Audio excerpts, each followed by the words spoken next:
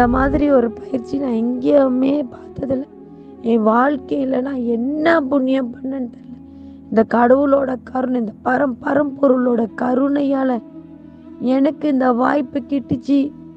இந்த வாய்ப்பை நான் முழுமையாக பயன்படுத்தினா நான் இல்லைன்னு தெரியல. ஆனால் நான் பயன்படுத்த ஒரு அஞ்சு பர்சன்ட் தான் இருக்கும்னு நினைக்கிறேன். அந்த அஞ்சு பர்சன்ட்லேயே எனக்கு இவ்வளோ பெரிய ஒரு ஒரு மகிழ்ச்சி அடைஞ்சிட்டு இருக்கேன்னா அதை அப்படியே ஃபாலோ பண்ணால் எப்படி இருக்கோ நீங்கள் நினைக்கிறீங்க. சொல்ல வார்த்தை இல்லை தம்பி சொல்ல வார்த்தை இல்லை.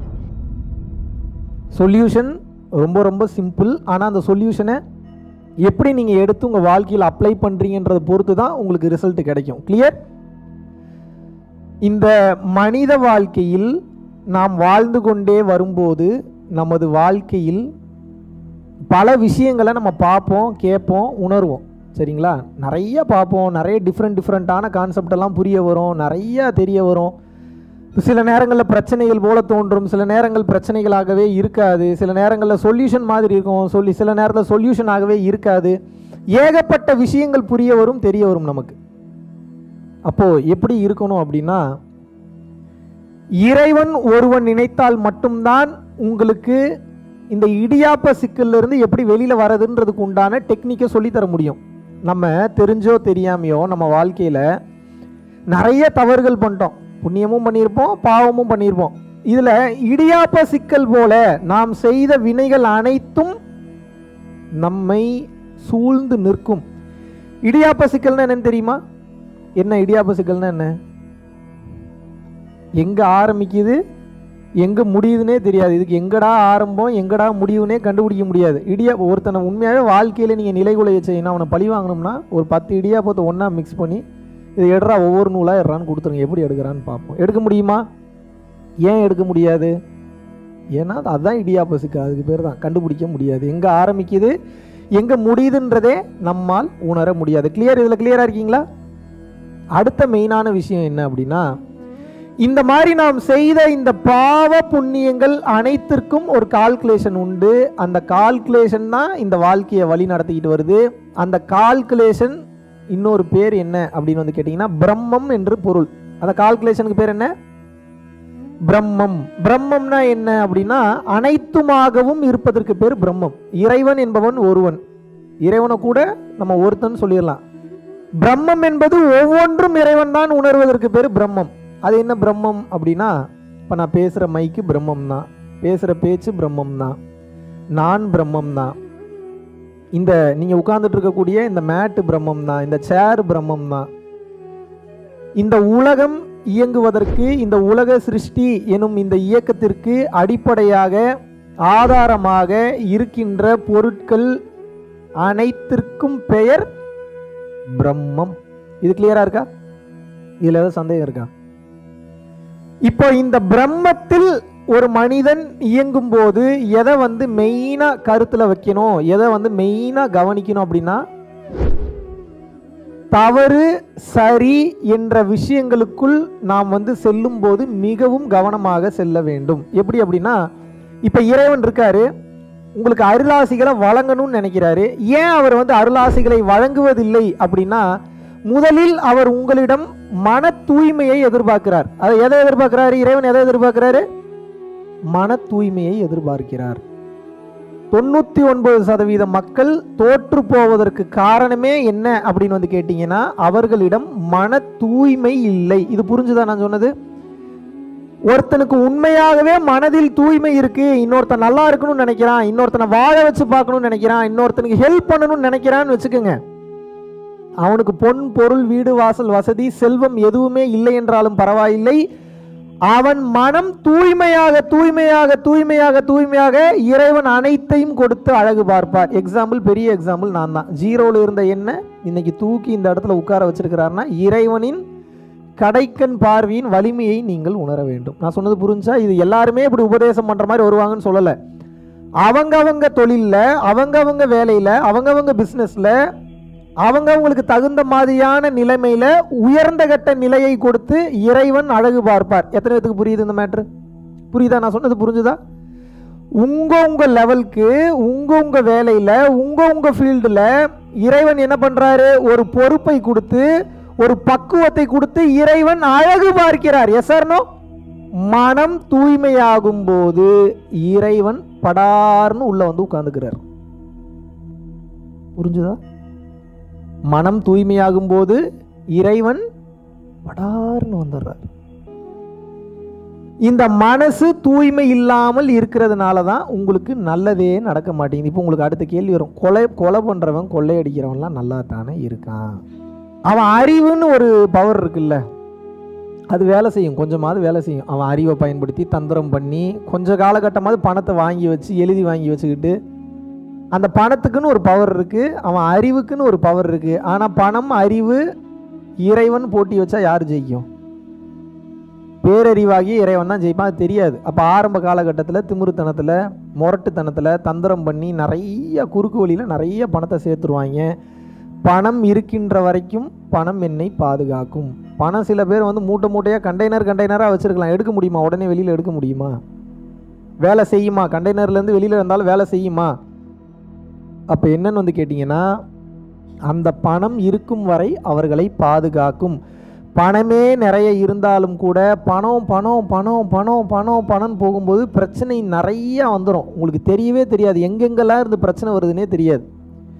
எல்லா பிரச்சனைகளிலும் அவன் சிக்கிக்கொள்வான். இப்போ அவன் எதை நம்பி இருந்தான் பணத்தை நம்பி இருந்தான் அப்போ எதை அவனை காப்பாற்றணும் நான் அம்மாவே நம்பியிருக்கேன். அப்போ யார் காப்பாற்றணும் அம்மா தான் காப்பாற்றணும் நான் அப்பாவே நம்பியிருக்கேன். அப்போ என்னை யார் காப்பாற்றணும் அப்பா தான் காப்பாற்றணும் நான் இருபத்தி நாலு மணி நேரம் பணம் தான் என்னை காப்பாற்றணும்னு நினைக்கிறேன். அப்போ என்னை யார் காப்பாற்றணும் இப்போ நீங்கள் பணம் முக்கியம்னு நினைக்கும் போது இன்னொருத்த மட்டும் எப்படி நீங்கள் முக்கியம்னு நினைப்பான்?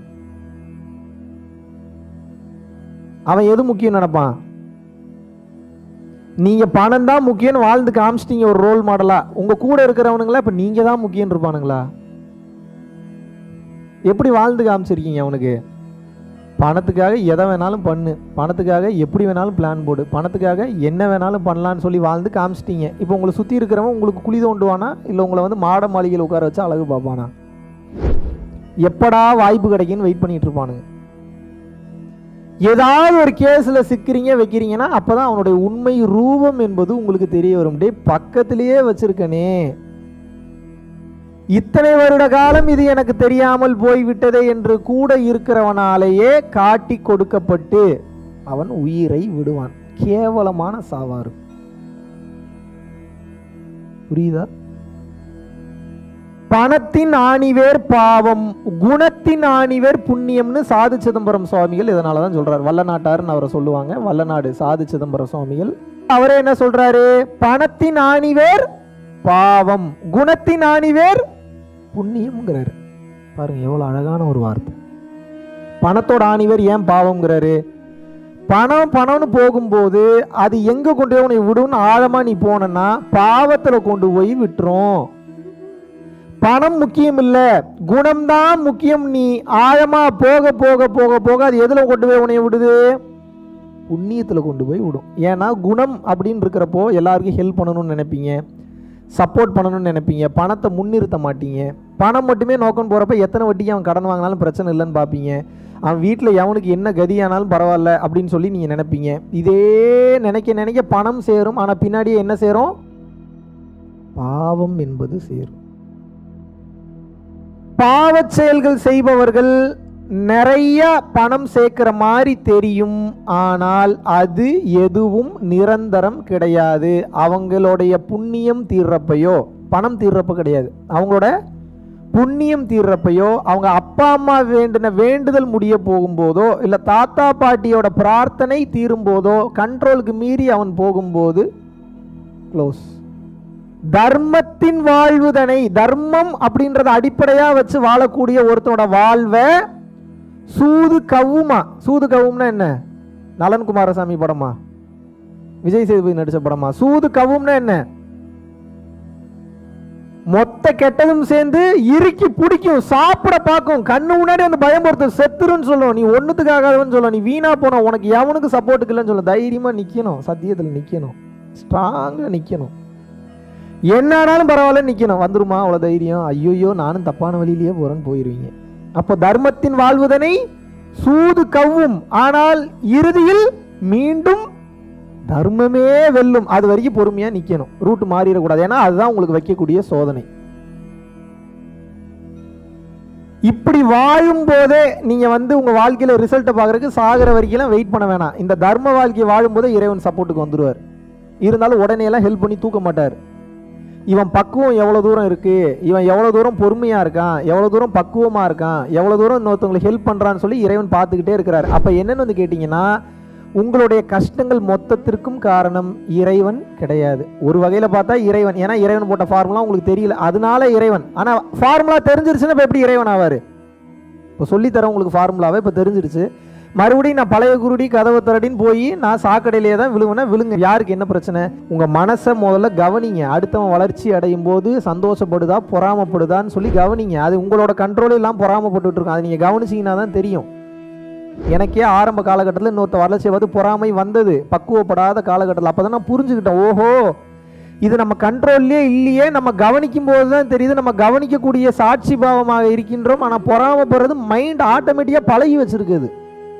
நம்மளே ஏன் பழகி வச்சுருக்கு? பொறாமப்படுறது அடுத்தவனை திட்டுறது. நமக்கு ஒன்று நல்லது நடக்கலைன்னா எவனுக்கும் அந்த நல்லது நடக்கக்கூடாதுன்னு நினைக்கிறது. எனக்கு ஒரு கண்ணு போச்சுன்னா பக்கத்து வீட்டுக்காரனுக்கு ரெண்டு கண்ணு போயிடணும் இறைவான் வேண்டது எல்லா புத்தியும் இருந்தது. அப்போ நான் என்ன பண்ணேன்? கொஞ்சம் கொஞ்சமாக அதை கவனிக்க ஆரம்பித்தேன். கவனிக்க ஆரம்பிக்கும் போது அது மனசு பயப்பட ஆரம்பிச்சிருச்சு. ஏன்னா ஆஹா நம்ம பண்ணுற திருட்டுத்தனம் சேட்டையெல்லாம் அவன் கவனிக்கிறானேன்னு சொல்லி அது பயம் கொள்ள ஆரம்பித்தது. ஒரு கட்டத்துக்கு மேலே அடுத்த டைம் பொறாமப்படும் போது கவனிப்பேன். ஒன்றும் சொல்ல மாட்டேன். கவனிப்பேன். ஓ நீ பொறாமப்படுறியான்னு கவனிக்கும் போது அடுத்த டைம் அந்த பொறாமை கம்மியாச்சு. அடுத்த டைம் கொஞ்சம் லேட்டாக அந்த பொறாம வரும். வரும்போது மறுபடியும் கவனிப்பேன். ஓ நீ பொறாமப்படுறியான்னு இன்னும் கொஞ்சம் கம்மியாச்சு. இப்போ என்னன்னா மனதினுடைய சேட்டைகள் மொத்தமும் குறைஞ்சிருச்சு. எப்போ குறைஞ்சிது? நான் ஒன்று அதுக்கு பேச்சுவார்த்தைலாம் நடத்தல. உட்காந்து அறிவெல்லாம் புகட்டலை. அதை கவனிச்சேன்.